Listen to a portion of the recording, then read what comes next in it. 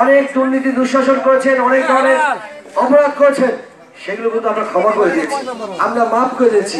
আমরা চাই না আমাদের তারা আমাদের যারা কোনো পেট পেতে কোনো আহত বা অন্য সময় সময় এমন ভাবে হয় আমার সমস্যা হোক।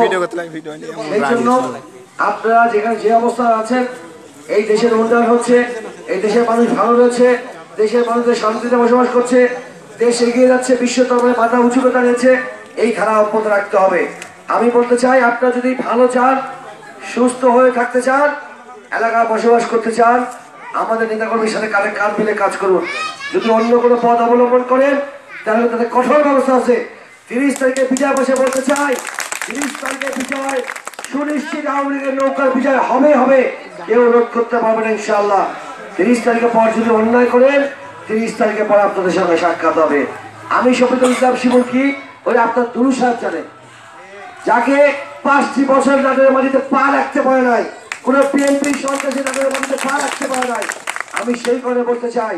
এখনও সময় আছে, আমাদের এখানে অনেক আওয়ামী লীগ নেতা কর্মীরা অবনীত, তাদের উপর অনেক অন্যায় অত্যাচার করেছেন। আমি চাই তাদের সাথে কাঁধে কাঁধ মিলে কাজ করুন। এই ছাত্রী হবে আওয়ামী লীগের দুর্গ, আওয়ামী লীগের ঘাঁটি।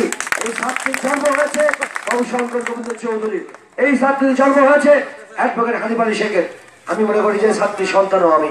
আমি আপনাদের সন্তান হিসেবে আপনার কাছে দোয়া কামনা করছি, ভোট প্রার্থনা করছি।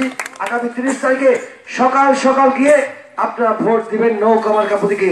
যারা নৌকা মার্কা প্রতীকের বিরোধিতা করছেন যারা ধানের শীষ ধানের শীষ লাভালাভি করছেন আমি আমার নেতা কর্মী বলতে চাই, কোন ধানের শীষের প্রার্থী এবং সমর্থক ওই কেন্দ্রে যাবে না। ভোট আপনারা দেখে নেবেন। আমার নেতা বলতে চাই ভোট দেখে নেবেন। যারা নৌকায় ভোট দেবে, তারা কেন্দ্রে যাবে, ভোট দেবে না, কেন্দ্রে যাবে না। পরিষ্কার কথা যাতে মানুষ শান্তিতে আছে, এই শান্তিতে রাখার জন্য আমাদের যা যা করা প্রয়োজন, সেটা করব ইনশাল্লাহ সবাই ভালো থাকুন, সুস্থ থাকুন। জয় বাংলা, জয় বঙ্গবন্ধু।